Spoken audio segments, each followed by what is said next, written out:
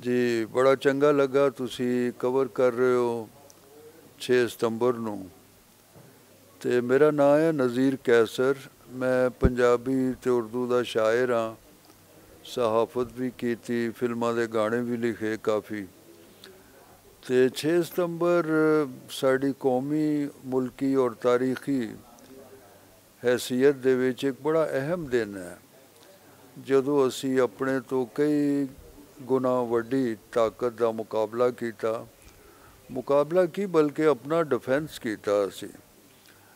ਅਸੀਂ ਪਾਕਿਸਤਾਨੀ ਜਿਹੜੇ ਆ ਕਦੀ ਜਾਰੀਅਤ ਦਾ ਉਹ ਅਸੀਂ ਮੁਬਤਲਾ ਨਹੀਂ ਉਹਦੇ ਚ ਹੋਏ। ਅਸੀਂ ਹਮੇਸ਼ਾ ਆਪਣਾ ਦਿਫਾ ਕਰਨੇ ਆ ਤੇ ਉਹ ਦੁਨੀਆ ਨੂੰ ਅਮਨ ਦਾ, ਮੁਹੱਬਤ ਦਾ ਪੈਗਾਮ ਦਿੰਨੇ ਆ ਹਾਲਾਂਕਿ ਸਾਡੀ ਫੌਜ ਜਿਹੜੀ ਹੈ, ਉਹ ਦੁਨੀਆ ਦੀ ਸਭ ਤੋਂ ਬਿਹਤਰੀਨ ਫੌਜਾਂ ਚੋਂ ਹੈ।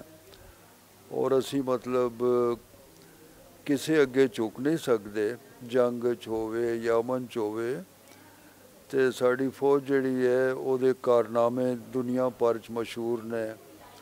ਉਹ ਨਾ ਸਿਰਫ ਸਰਹੱਦਾਂ ਦੀ ਹਿਫਾਜ਼ਤ ਕਰਦੇ ਨੇ, ਬਲਕਿ ਸਾਡੇ ਸ਼ਹਿਰਾਂ ਦੇ ਵਿੱਚ ਸਾਡੀਆਂ ਕੋਈ ਵੀ ਜਿਹੜੀਆਂ ਵਬਾਈ ਔਰ ਸੈਲਾਬੀ ਔਰ ਜਿਹੜੀਆਂ ਆਫਾਕ ਆਫਾਤ ਨੇ, ਉਹਨਾਂ ਦੇ ਵਿੱਚ ਵੀ ਸਾਡੇ ਆਵਾਮ ਦੀ ਬੜੀ ਮਦਦ ਕਰਦੇ ਨੇ। ਤੇ ਅਸੀਂ ਕਦੀ ਦੁਨੀਆ ਦੇ ਵਿੱਚ ਚਾਹੁੰਦੇ ਹੀ ਨਹੀਂ ਕਿ ਅਸੀਂ ਕਿਸੇ ਮੁਲਕ ਤੇ ਹਮਲਾ ਕਰੀਏ, ਔਰ ਨਾ ਇਹ ਚਾਹੁੰਦੇ ਆ ਕਿ ਸਾਡੇ ਤੇ ਕੋਈ ਹਮਲਾ ਕਰੇ। ਤੇ ਇਹ ਦਿਨ ਜਿਹੜਾ ਸਾਡੀ ਕੌਮ ਵਾਸਤੇ ਇੱਕ ਅਹਿਮ ਦਿਨ ਵੀ ਹੈ, ਔਰ ਇੱਕ ਯਾਦਗਾਰ ਦਿਨ ਹੈ। ਜਦੋਂ ਅਸੀਂ ਬਹੁਤ ਬਹਾਦਰੀ ਨਾਲ ਔਰ ਬਹੁਤ ਹੀ ਜੁਰਤ ਦੇ ਨਾਲ ਔਰ ਆਪਣੇ ਜਜ਼ਬੇ ਦੇ ਨਾਲ, ਕੌਮੀ ਜਜ਼ਬੇ ਦੇ ਨਾਲ ਅਸੀਂ ਆਪਣਾ ਦਿਫਾ ਕੀਤਾ।